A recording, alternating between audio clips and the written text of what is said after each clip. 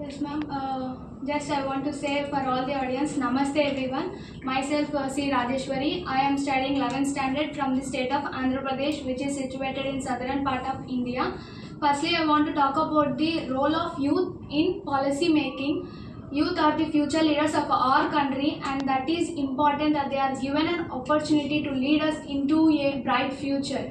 And youth have always been the uh, driving force behind the social and economic development and they will continue to play a vital role in the economic development and also nation building as we were the instrument in transforming the country into the one of the fastest growing economies in the world at present and uh, uh, out of these 17 sustainable sustainable developmental goals there are some areas where youth can make an immediate action. They are the um, no poverty good health and well-being and um, quality education. Under this quality education our state government provide us many initiatives like school infrastructure transformation providing good food and increased uh, student uh, dignity and many more uh, with a target to achieve the sustainable developmental goals well before 2030 and also gender equality and uh, i want to share a happy moment with all of you that our parliament of india gave a chance uh,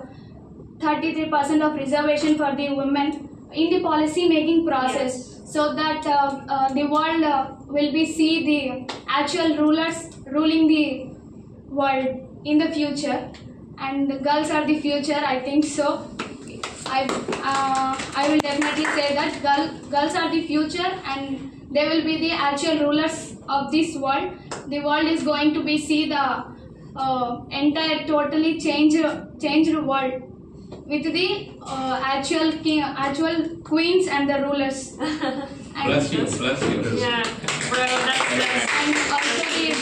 Work and uh, economy uh, economic growth. Um,